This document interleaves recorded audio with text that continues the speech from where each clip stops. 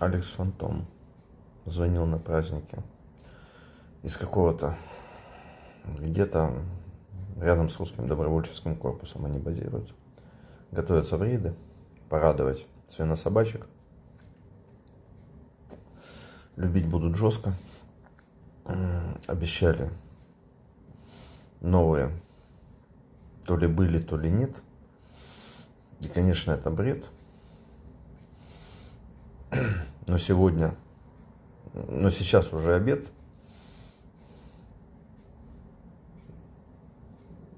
Был отряд, его уж нет.